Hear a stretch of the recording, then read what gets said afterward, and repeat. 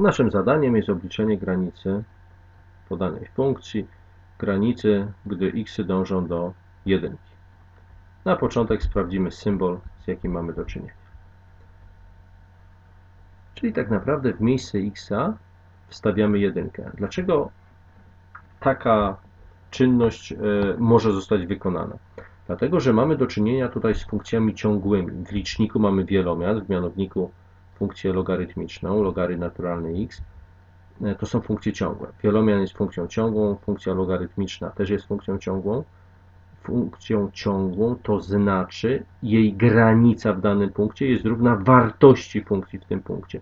Czyli granica licznika, patrz, mówię o samym liczniku, granica licznika jest równa wartości tego licznika dla x równego 1. Czyli mamy 1 do kwadratu minus 1.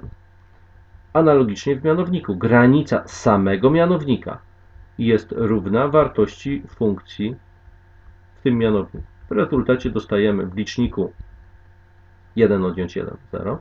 W mianowniku logary naturalne jedynki to też 0.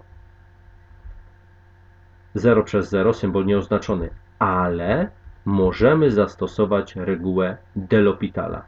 Przypomnijmy, regułę Delopitala możemy stosować w sytuacji, kiedy mamy do czynienia z symbolem 0 przez 0 lub nieskończoność przez nieskończoność. Nieważne jakie znaki. Plus nieskończoność przez plus nieskończoność, minus nieskończoność przez minus nieskończoność, minus przez plus nieskończoność, bądź plus przez minus nieskończoność. To nie ma znaczenia. Fakt, że stosujemy regułę de L'Hospitala oznaczamy literką H zapisaną nad bądź niekiedy pod znakiem równości i wykonujemy to tak. Granica przy x dążącym do jedynki. Oddzielnie obliczamy pochodną licznika. Oddzielnie obliczamy pochodną mianownika, czyli pochodną logarytmu naturalnego x. Pamiętamy, że to jest 1 przez x. Przekształcimy 2x dzielone przez 1 przez x, czyli mnożymy przez odwrotność, czyli mnożymy przez x, czyli mamy 2x kwadrat. I teraz sprawdzamy, jaki jest symbol.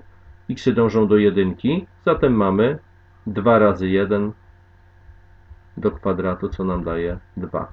Tutaj też mam, tu jest wielomian, też mam, też jest to funkcja ciągła, zatem możemy obliczyć jej wartość, bo funkcja ciągła, jeszcze raz przypomnę, to taka funkcja ciągła w danym punkcie, to taka, że jej wartość w tym punkcie jest równa granicy tej funkcji właśnie w tym punkcie.